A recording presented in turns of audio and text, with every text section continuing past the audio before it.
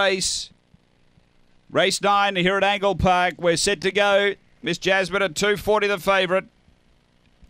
Step well, Miss Jasmine off the inside is going to push up and look for the lead. Nitro Heroine takes it on down the back and gets the front.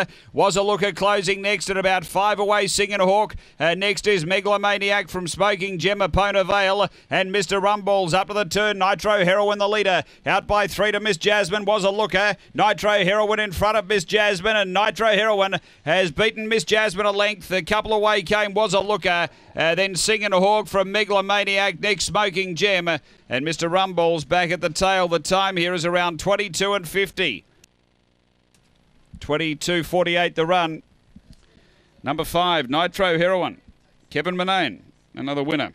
A uh, Black Bitch, January 2015. Nitro Burst, Hannah Fires Heroine. Number five, first. Second, going to one, which is uh, Miss Jasmine, Tony Rasmussen, a white and black bitch, June 2015. Cosmic Chief, she's ablaze. And two was a looker, Lester Harris. A white blue bitch, June 2015, Rocky Bale, Yolanda Bale. Numbers are 5, 1, 2, 3 after race 9 at Angle Park.